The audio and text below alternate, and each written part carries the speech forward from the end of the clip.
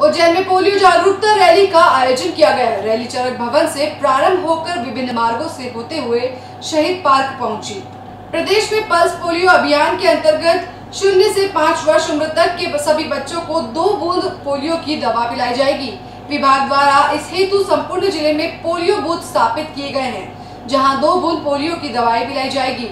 इस अभियान के दौरान ईट भट्टे निर्माण स्थल, झुग्गी झोपड़ियों एवं घुमक्कड़ आबाद स्थल पर विशेष ध्यान देकर लक्ष्य का शत प्रतिशत पूर्ति का प्रयास किया जाएगा रैली के माध्यम से समस्त माता पिताओं अभिभावकों, पालकों से अपील की गई है, अपने बच्चों को 19 जनवरी नजदीकी पोलियो बूथ पर ले जाकर पोलियो की खुराक अवश्य पिलाएँ। आज पल्स पोलियो का जन जागरण अभियान की रैली चरक अस्पताल से चालू हुई थी जो प्रमुख मार्गों से होते हुए पल्स पोलियो मैं उज्जैन नगर की जनता से निवेदन करता चाहता हूँ कि छोटे जो बच्चे अपने घर में हैं, उनको कल से पल्स पोलियो की वापस दवाई पिलाई जाएगी। जिनके भी आसपास और पल्स पोलियो को जाके दवाई पिलाएँ, क्योंकि पल्स पोलियो बच्चों के लिए यदि बचपन में पिला देते तो कभी होता नहीं है।